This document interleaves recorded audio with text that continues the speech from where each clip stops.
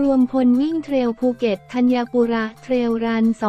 2023 ผจญภัยในป่าธรรมชาติภูเก็ต นักวิ่งและผู้ที่รักการผจญภัยในธรรมชาติพลาดไม่ได้กับงาน Phuket Thanyapura Trail Run Green Run for Energy Saving 2023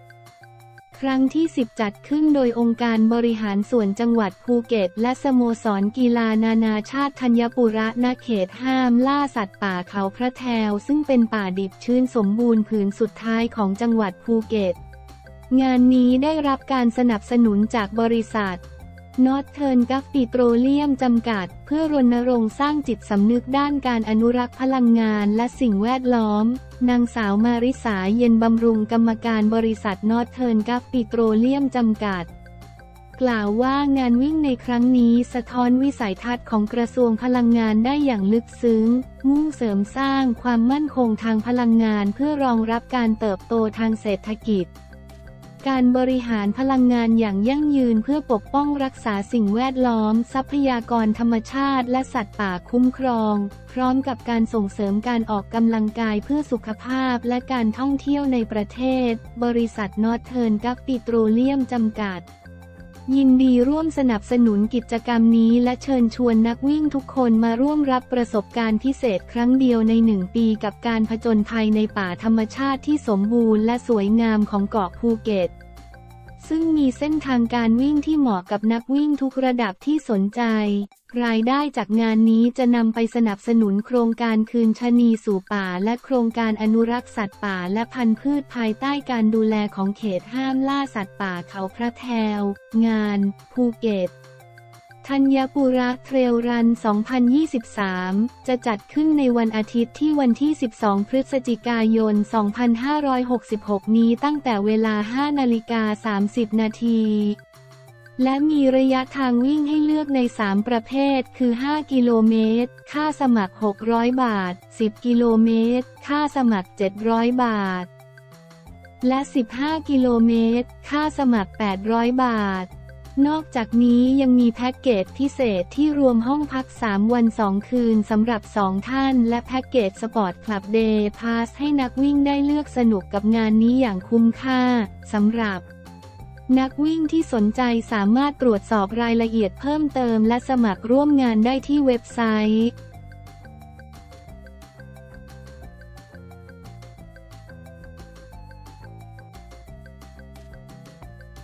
ไม่คาดคิด นิกกี้อึ้งหนักหลังเจอเงินในบัญชี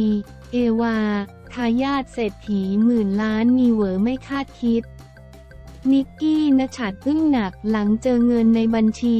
เอวา ปวรวันทายาทเศรษฐีหมื่นล้านงานนี้มีหน้าเหวอจนพูดไม่ออก ถ้าพูดถึงทายาทคุณหนูหมื่นล้าน ไม่มีใครไม่รู้จักนักแสดงและยูทูบเบอร์สาว เอวา ปวรวันวีรพุชง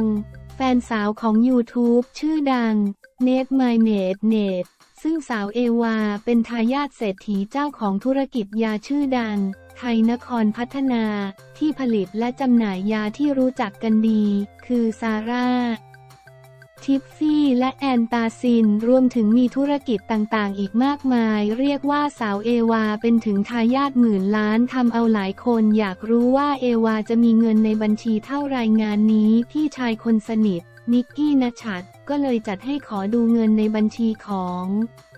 เอวาเล่นเอาเอวาไม่ทันตั้งตัว แต่ก็ยอมให้นิกกี้ดูแต่โดยดีแถมก่อนที่เอวาจะให้ดูเงินในบัญชีฝากบอกถึงแฟนคลับทุกคนว่า ทุกคนอย่าตัดสินนะคะมันน่าอาย จากนั้นเอวา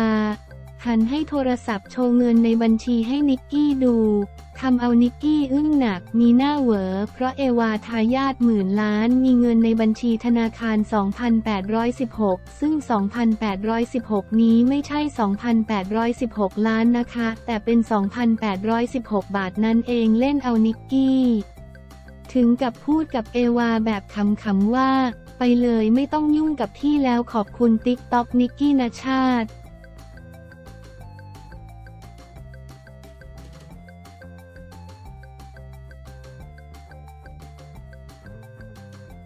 มาโนหวังเห็นทัพช้างศึกปรับตัวกับสภาพอากาศหนาวได้ไวก่อนอุ่นเกือกมาโนโพกิ้ง หัวหน้าผู้ฝึกสอนฟุตบอลชายไทยชุดใหญ่นำทัพช้างศึกลงสนามฝึกซ้อมทันทีที่ไปถึงยุโรป หวังนักเตะปรับกับอากาศหนาวได้ไว มาโน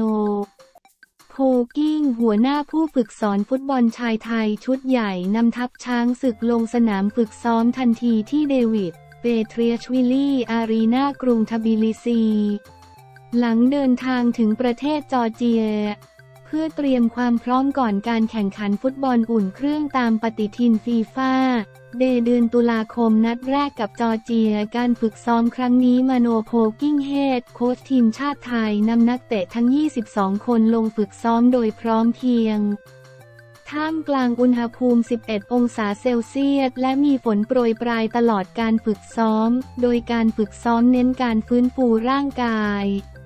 และปรับตัวให้เข้ากับอากาศที่ค่อนข้างหนาวเย็น เพื่อให้พร้อมเต็มร้อยกุนซือทีมชาติไทยกล่าวว่า พวกเราเดินทางกันมายาวนาน การฝึกซ้อมจะค่อยๆ ฟื้นฟูร่างกายเน้นให้ปรับตัวกับอากาศที่ค่อนข้างหนาว จริงๆ ผมชอบอากาศที่หนาว แต่พอมาถึงมันหนาวกว่าที่คิดไว้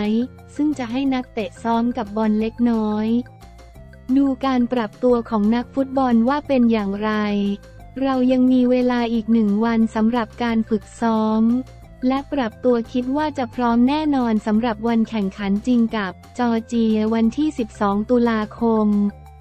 โชคไม่ดีที่นิโคลัสมิเกลสันไม่ได้มากับทีมเพราะบาดเจ็บ และแม้ว่าจะมีนักฟุตบอลแค่ 22 คน แต่ไม่คิดว่าเป็นปัญหาใหญ่ เพราะคือการแข่งขัน 2 เกมไม่ใช่เป็นทัวร์นาเมนต์ยาวๆ ที่ผ่านมาทีมได้ศึกษาการเล่นของจอร์เจีย เพื่อจะหาวิธีการเล่นที่เหมาะสมที่สุด เพราะพวกเขาเป็นทีมที่มีคุณภาพอย่างที่ผมบอกมาเสมอ แต่ผมมั่นใจในตัวนักฟุตบอลทีมชาติไทยว่ามีคุณภาพและความมุ่งมั่นพอ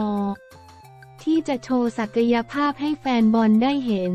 สำหรับฟุตบอลชายทีมชาติไทยจะมีการซ้อมอีกหนึ่งครั้งก่อนจะพบกับจอร์เจียที่มิเคลเมสคีสเตเดียมในวันที่ 12 ตุลาคม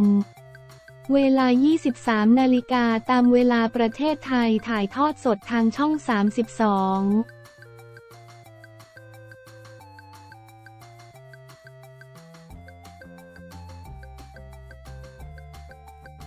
มวยอิหร่านลองดีเปิดหน้าท้าให้ต่อยโดนฟันศอก ร่วงกัดฟันลุกสู้ต่อถูกยำใหญ่พ่ายน็อกมวยอิหร่านลองดีเปิดหน้าท้าให้ต่อยโดนฟันศอกร่วงไปกองกับพื้นเวที กัดฟันลุกขึ้นมาสู้ต่อถูกยำใหญ่สุดท้ายแพ้น็อกไปในยกที่สองในการชกมวยไทยช่วงหลังมักเห็นนักมวยยื่นหน้าให้คู่ต่อสู้ต่อย เป็นการแสดงออกว่าสามารถทนพลังกำปั้นของคู่ต่อสู้ได้ แต่ก็มีให้เห็นไม่น้อยว่าการเปิดหน้าให้คู่ต่อสู้ต่อยนำมา ซึ่งความพ่ายแพ้ ล่าสุดในการชกคู่เอกศึก Fairtex Fight มวยมันพันธุ์ Extreme วันที่ 9 กันยายน 66 เป็นการพบกันระหว่างอภิสิทธิ์ Fairtex หรืออภิสิทธิ์ K.T. Gym นักชกกำปั้นหนักชาวไทยขึ้นมาพบกับมิลาดบาเกอรี่นักชกหนุ่มชาวอิหร่านรูปร่างสูงยาวในพิกัดน้ำหนัก 65 กิโลกรัมบัวขาว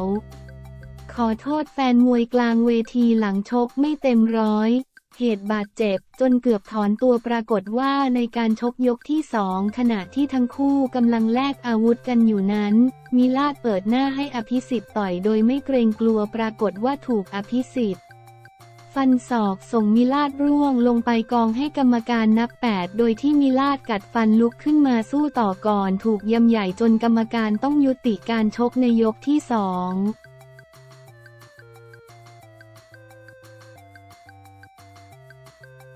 Yeah.